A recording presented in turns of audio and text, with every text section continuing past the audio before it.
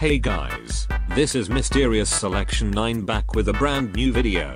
I am finally back after a long break, due to school and other reasons. I will try to upload more often. Anyways, before we get on with this video, please make sure to like this video and subscribe to this channel to support the channel and turn on post notifications to make sure you don't miss out on any of my videos. Anyways, let's get started with this video. So, Twitch has a problem with their platform. They have been banning streamers for no reason at all and supporting streamers that have been doing bad stuff on camera. For example, Twitch is somehow for some odd reason, supporting Alinity, who threw her cat on stream, fed her cat vodka on stream. And just a few hours ago, Twitch just banned a popular streamer called Dellor, who smashed his face with his keyboard, and Twitch banned him for self-harming himself, even though he didn't actually get hurt. This was proved by a tweet he made. This has led to lot of backlash and hate from the internet.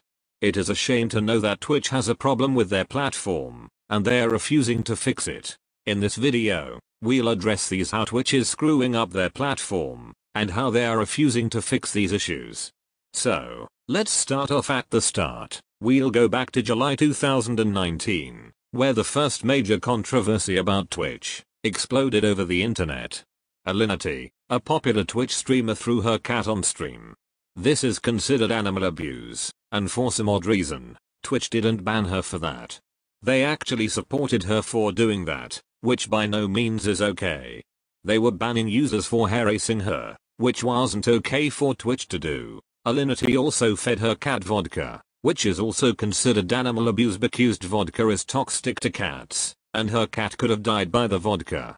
Even so, Twitch didn't ban Alinity, they instead were literally supporting her for abusing her cat. And this has led to huge controversy over Twitch, and this signaled the downfall of Twitch. We now go back to a few hours ago today, where another popular Twitch streamer, Dellor, was perma-banned from Twitch.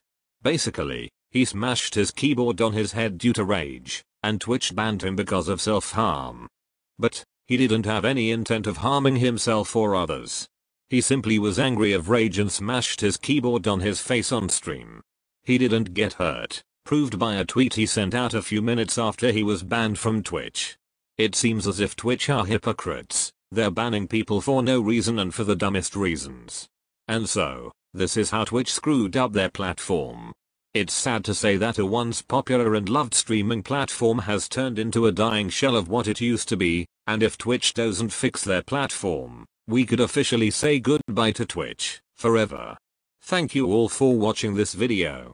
Please do me and the community a favor by liking this video and sharing this video with all your friends and family to spread the message. I really hope you have enjoyed this video. Please make sure to like, subscribe, and turn on post notifications to support this channel and to not miss out on any of my videos. Anyways, I'll see you in the next video. Goodbye.